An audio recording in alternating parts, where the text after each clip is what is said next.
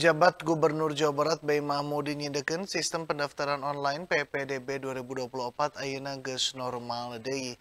Pihak nagi ngalakonan mangpirang tareka keur nyinglar taya kejadian gejedna sistem online dina pendaftaran online PPDB 2024 di mangsa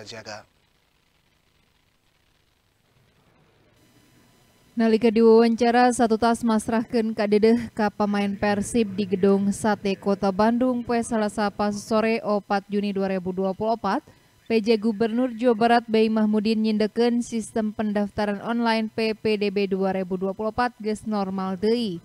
Samemehna dina poe munggaran pendaftaran hambalan kahiji kungsi gejed alatan reana anu ngadaftar. Tapi kiwari pihaknya nyorang tarekah keur nyinglar gangguan samodel kitu karandapan deui.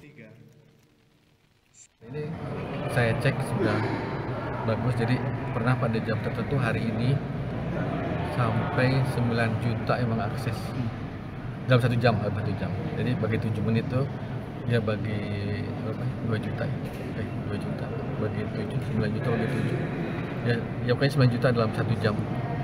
Ya, Antisipasi biar tidak terjadi seperti itu lagi gimana?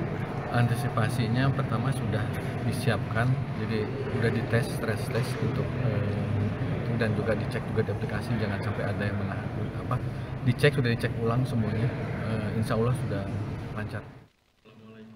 Bayi nandeskeun prak-prakan PPDB bakal dipaju kalaun lancar tan dipapesan ku panyalimpangan.